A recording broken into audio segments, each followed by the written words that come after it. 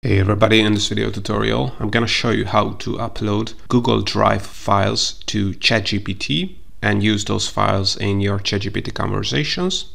Alright, so if you want to upload files, images, image files, video files, Google Sheets, Google Docs files to ChatGPT from your Google Drive folder, here is how to do it.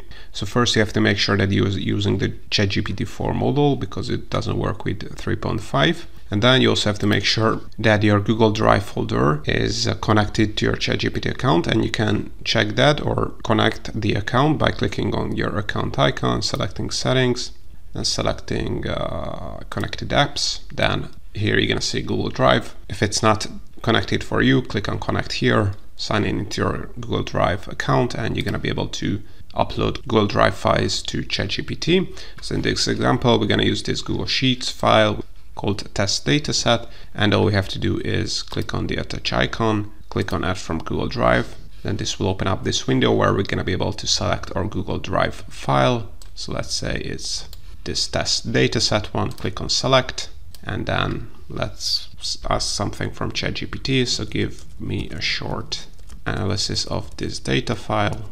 And as you can see, it has pulled in all the data from that Google Sheets file and you can see all the nice data and we get some nice data overview here from ChatGPT.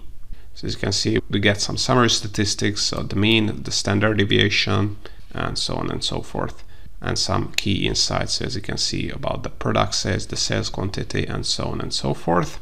Alright, so on, this is how you can upload Google Drive files to ChatGPT. As I mentioned, you can not only upload Google Sheets files, but images, videos, Google Docs files and then the other five formats.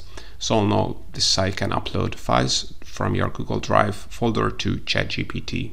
Hope you found this tutorial useful. If you want to get access to the custom GPT database and other free ChatGPT and AI resources, make sure to check out the links in the description below.